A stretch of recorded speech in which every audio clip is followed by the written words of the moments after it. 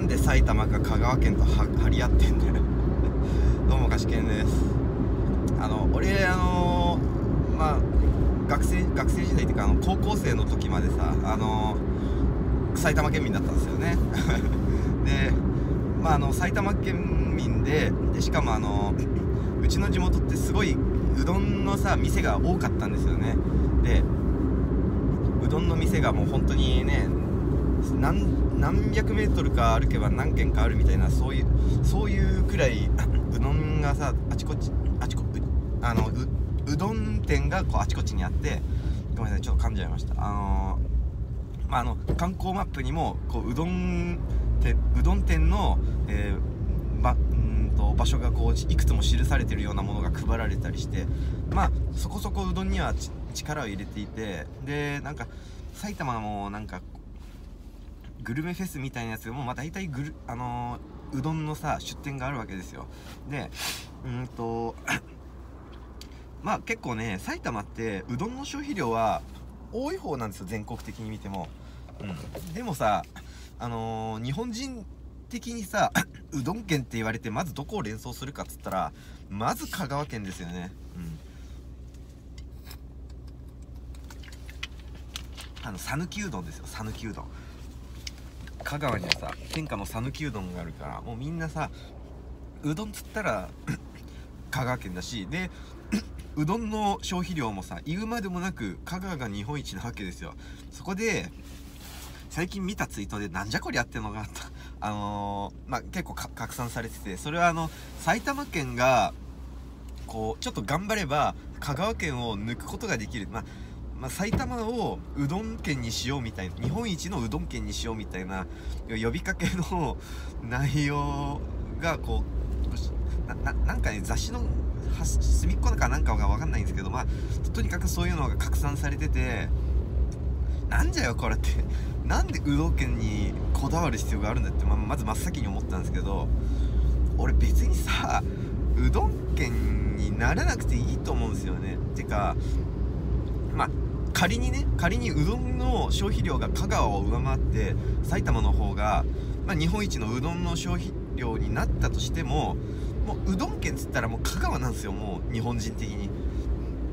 結局それであの埼玉がじゃこっちが真のうどん県だというふうに名乗ったところで結局あの 2番煎じというかさうどん県の座はえ奪えないんですよ、うん、だってもう香川がもうね大々的にうどん県ってさアピールしちゃっているしさ。ねアピールしてるっていうかもうななんでしょうね。1人当たりの消費量がまず違いすぎるしあとね埼玉埼玉よりもやっぱね香川の方がうどんはねやっぱ安いんですよ。安くてもう庶民食なんですよ。まあ埼玉でも庶民食ではあるんだけどあの埼玉のうどんって結構凝ったものが多いようなイメージなんですよね。俺的にね。うん。あその麺のさ腰を腰にこだわったりとかつゆにこだわったりとかさ具材をあれやこれや入れてみたいみたいなすごい凝ったやつでまあ1杯5600円とかのが多いんですかね。でも香川に行ったことがある方分かると思うんですけどあれ200円でお釣りが返ってきたりする店があちこちにあるんですよ。うん。で大体300円もあればもう絶対うどん食える食えるんですよ。ちょっと行けばね。でだからもう香川の人みんなうどん食ってる。でどれだけ食ってんのかっつうと、まあ、そのねあの切り抜きの中にはこう埼玉県民があの一月に2杯ずつ食えば香川を追い越せるっていうもの。でまあに確かにねその数値的には一月に1人が2杯ずつ食えば追い越せるんですよ。でもあの香川と埼玉の人口差あれやあれ結構すごいですよね。あのー、あ埼玉って結構地味な県だけど何気にあのー、あれですね人口がすごく多い県で、まあ、当然東京に隣接していて、まあ、小さい、まあ、ちちょっと小さめの県だから、まあ、すごく人口密度も高いしまああのだ大体ね人口上位 4, 4位くらいには入ってたと思うんですけどあの香川ってさ全然人口大して多くないじゃないですか。で、まあ、埼玉が確か香川の7倍ぐらいだったと思うんですけどそれで一月2杯でか一月2杯食わないと勝てないっていうことは逆に言うと香川県民って一月に、まあ、13杯は食ってるわけですよ。13杯14杯1人当たりね1人当たり。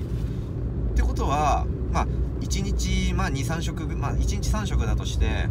一月30日じゃないですか、まあ、90食。で90食のうち、まあ、13食14食、うん、ってことはまあ大体6食に1回は絶対うどん食ってるってことなんですよ。それも全員全員がね。だあの中には2食に1食食ってる人もいればまあ10食に1食くらいしかうどん食わない人もいるかもしれないですけどそれだってその埼玉県民の1人当たりを大きく上回ってるわけですよ。で逆に埼玉県民のその1人当たり1月にうどん2杯ってことはまあその90食中の1食だから45食に1食食うだけなんですよ。何が言いたいかっていうと結局それだけで、まあの香川県民の1人当たりの消費量っていうのがもう埼玉ごときじゃか叶わないわけですよ。うどん県って名乗るなら香川県香川県民があの1日に1日かな1ヶ月に食べるうどんの量を埼玉県民一人一人が越さなきゃ俺は意味ないんじゃないかなと思うんですよ。単に県全体の消費量だけでねあのー、越したって何ともないんですようどん県でも。何でも。うん。まあだからさなんかもううどん県になったって多分埼玉県民誰も喜ばないしいやいや喜ぶ人いるかもしんないけどあふんそんなんだくらいのすごい冷めた感じだしでその埼玉県にみんなにさ一月2食食いましょうっつったってさみんなみんな守るわけないんですよ。だってねあのほら東京にこう出たいけどちょっと東京じゃ地価が高いからってことでちょっと離れた埼玉に住んでる、まあ、いわゆる川口とか蕨とか埼玉市とかに住んでる、まあ、あの、まあなおのぼりさんって言っちゃうとあれなんですけど、まあ、地方から来た人だっていっぱいいるわけですよ。そういう人たちがさ埼玉県に、まあ、愛着なんか、まあ、持っていることって少ないと思う、まあ、持っていないことはないでしょうけど別にその埼玉県のために何かをやりたいかって言われるとうーんって感じになっちゃうんじゃないですか？だから別にあの埼玉県あれ埼玉県が目指してるわけじゃないと思うんですけど別に。埼玉県でそのうどん県目指す必要ないしなったところで俺は喜ばない、うん、まあ俺今ね埼玉県民じゃないけどで もずあのー、やっぱ人生の中で一番長く過ごしてたのは埼玉県なんで。ま確かに俺はね俺はすごいうどん大好きだし、まあ、あの週に1食は絶対食ってるけどまあみんながみんなそうじゃないですよね。あそうだあの埼玉のうどんって言えばねあの山田うどんっていうえっとねチェーン店があるんですよ。山田うどんっていうまあ黄色い看板、まあ、楕円形の看板にこうやじろべえの赤いマークがあってでくるくる回ってるみたいなのが埼玉県をね通ると絶対1度か2度はね見る店だと思うんですけどあれがねあのー、こう、まあ、埼玉県民のソウルフードみたいな感覚は実際あるんですよ。うん。てか多分ね埼玉県のねうどん消費量が多いのって山田うどんが結構関係してるんじゃないかなと思うわけですよね。あれ結構安くてね確か290円とかで、うん、1食食えるわけですよ、まあ、お店にお店というかチェーン店にしてはすごい安いしボリュームもあるし、まあ、あの駐車場なんかも広くてさトラックなんかも止まれて、まあ、でだい大体幹線上にはさ何箇所かあるわけですよ。だからもう埼玉県民みんなね山田うどん多分一度は行ってるんじゃないかな。まあみんなとは限らない。まあその埼玉県に長く住んでる人はね一度は山田うどん行ってると思うんですよ。うんまあ多分ねその消費量がすごいから埼玉県のうどんの消費量も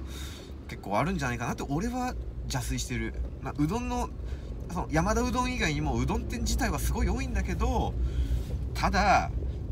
埼玉県民1人当たりで見たら絶対あの香川県民にはね勝てないっすよ。なんでねあの香川県民の皆さん安心してください。別にね埼玉県民はねうどん県になりたいなんてね望んでる人少ないと思うんで。うどんねでも俺うどん結構好きっすよ。あのー、ね大体出先行ってもうどん店にね指令と入っちゃったりしますから、ただそれも人それぞれってことですよ。あの元からね埼玉に住んでない人とかはもう全然うどんとか食べてないでしょうし、うん、さっき言ったようにねその山田うどんってチェーン店の存在が多分大きいんじゃないかなって思うんでね多分山田あのうどんがこう埼玉県民がみんな食ってるっていうわけじゃないんじゃないかなと思うわけですよ。まあもちろんね香川県民でもうどん全然食わない人いると思いますけどね。というわけでねあのいかにその埼玉県がうどん県を目指していることがバカバカしいかっていうのをねちょっと考えたんでねあのお話しさせていただきました。バイバーイ。